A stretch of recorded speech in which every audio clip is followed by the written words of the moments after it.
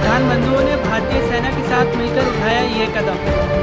भारतीय क्रिकेटर्स यूसुफ पठान और इरफान पठान की क्रिकेट अकादमी ऑफ़ पठान जम्मू एवं कश्मीर के दो युवा खिलाड़ियों का खर्चा उठाएगी और उन्हें अपनी नोएडा स्थित अकादमी में कोचिंग देगी। पठान बंधुओं ने भारतीय सेना के साथ मिलकर यह कदम उठाया है।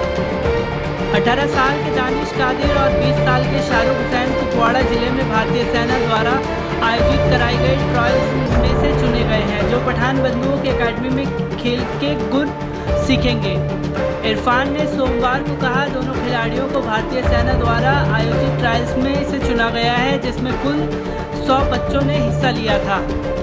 युवा खिलाड़ियों के भविष्य के बारे में इरफान ने कहा, यह खिलाड़ी अभी सिर्फ़ अकादमी में आए हैं, वह के प्राथमिक कार्यक्रम से गुजरेंगे और फिर इसके बाद सीएपी के अगले कार्यक्रम में जाएँगे। इरफान ने सेना द्वारा उठाए गए कदम कदम की भी, तारीफ़ की और कहा कि वह हमेशा खेल को समर्थन देते हैं।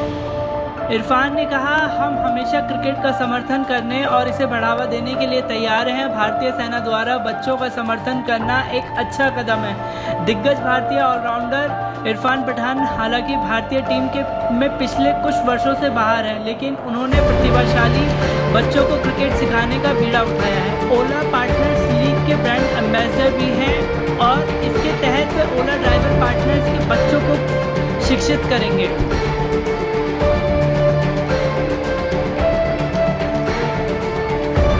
work for